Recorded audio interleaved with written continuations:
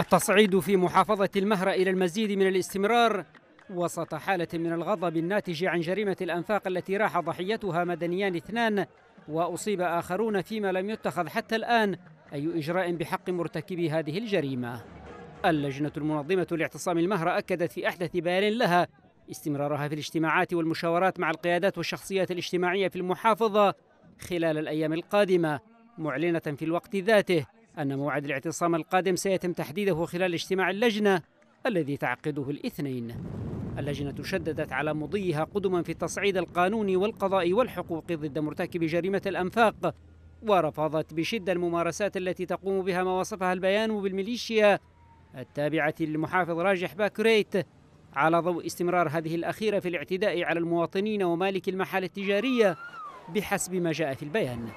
وفي البيان ذاته أوضحت اللجنة المنظمة لاعتصام المهرة أنها بصدد وضع أسس ومعالجات المرحلة القادمة لكافة أعمال لجنة الاعتصام السلمي في المحافظة ومواصلة ترتيباتها للتصعيد حتى تحقيق كافة مطالب أبناء المهرة ليست ساحة واحدة.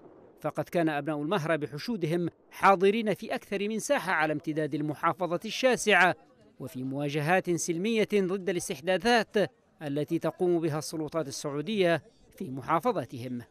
تحركات كهذه ملأت بنظر المراقبين الفراغ الذي خلفه الغياب غير المبرر للسلطة الشرعية التي تعطلت أدواتها وأجهزتها بعد الانتشار العسكري السعودي وهيمنته على المنافذ والمفاصل الحيوية السيادية للدولة اليمنية في هذه المحافظة. ولم تعوضه الزيارات المبرمجة لكبار مسؤولي الدولة والتي فسرت من قبل هؤلاء المراقبين بأنها لم تكن سوى تغطية للمهمة السعودية الجديدة في شرق البلاد.